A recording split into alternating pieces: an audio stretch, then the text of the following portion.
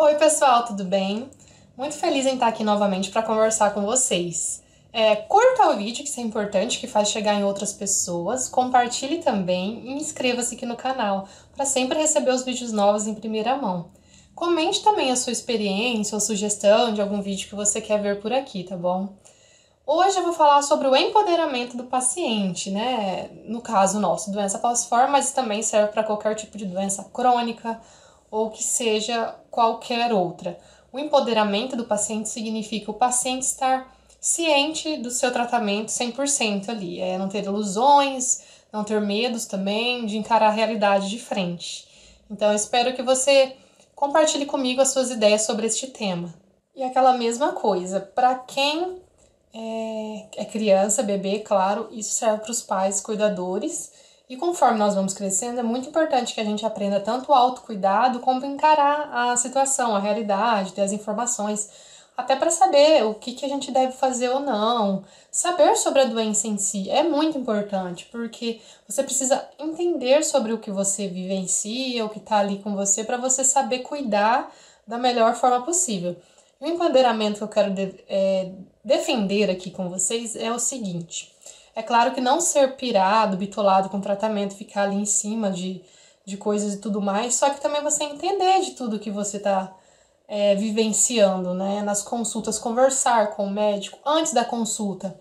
Pensar assim, ah, o que, eu tô sentindo? Levar anotadinhas suas dúvidas. Eu gosto de levar sobre alguma dúvida que você tem perante alguma coisa que você sente ou perante alguma dúvida realmente que você tem na sua cabeça. Às vezes você tem medo de perguntar, pensa que é besteira, ou só pergunta no Google e vê coisas muito ruins ou coisas boas e se ilude já se resolve ali mesmo. Não.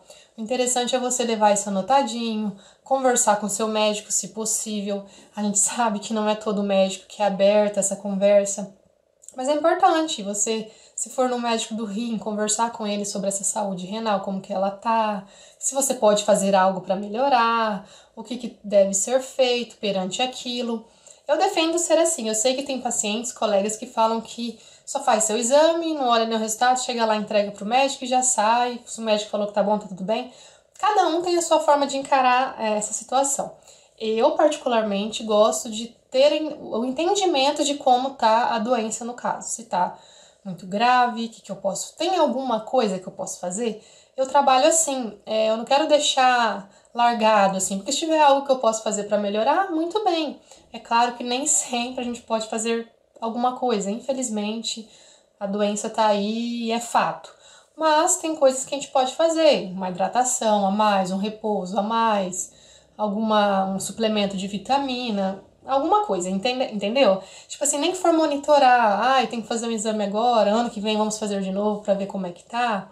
Mas você ter o entendimento de como é a sua hemoglobina basal é muito importante, porque às vezes você tem uma hemoglobina e você viaja passa mal em algum outro lugar, ou até mesmo na sua cidade, vai para outro hospital, ou no hospital que você tem de costume, e um médico que te vai atender, ele não conhece você. É um médico que não tá, não é do seu círculo de, de médicos que te atende.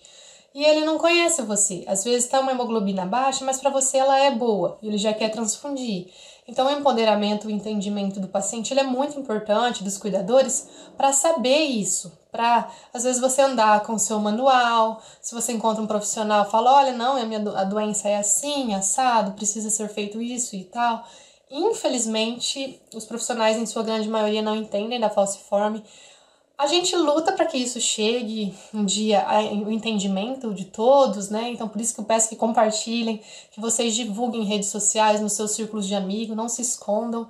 A gente precisa sair da invisibilidade, mas enquanto isso não acontece, você precisa sim entender do seu problema, andar munido de documentos, de coisas que, em alguns casos de viagem em si, ou de outro hospital que você precise de atendimento, você entenda do que você está falando com com um profissional que isso pode ajudar muito, é, ou pode atrapalhar muito também, se você não entender nada. Às vezes você vai fazer uma transfusão sem necessidade, que só uma hidratação resolveria. Então é muito importante você observar isso.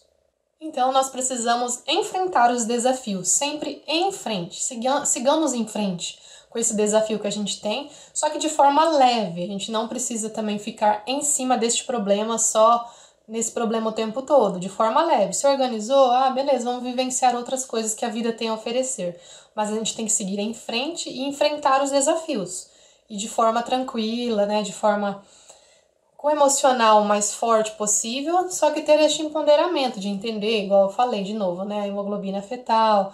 Assim, números que são importantes você ter esse entendimento para que você, quando for conversar com outros profissionais, você entenda sobre o seu problema. É complicado quando. Porque às vezes, até numa gravidade, assim, você tem que saber quais são os sintomas graves. Aqui no canal tem vídeo sobre. Eu posso colocar o link aqui. Quais são aqueles sintomas que você não deve esperar em casa, por exemplo. Às vezes você vai no hospital e o médico não entende da falciforme e fala, ah, pode voltar para casa. Só que você, tendo o um entendimento, conhecendo sobre isso, fala, não, isso são sintomas que pode me colocar em risco de vida. Um exemplo, dor no peito, falta de ar, prostração, fraqueza, são, são sintomas de STA, que é uma síndrome torácica aguda.